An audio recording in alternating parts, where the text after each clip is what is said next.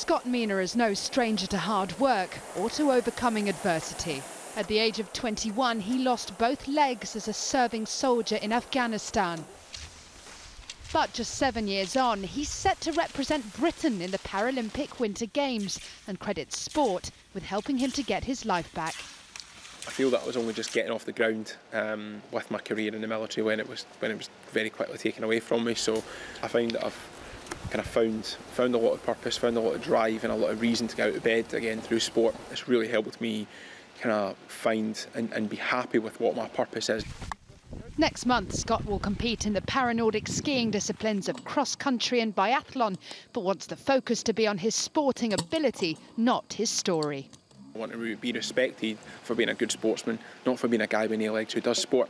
You know, and I think that that's for, for me what would be a, the, the, greatest compliment you could pay, pay is to, to just admire the, the sporting ability of these people because some of these athletes that I got on the start line with are they are world class.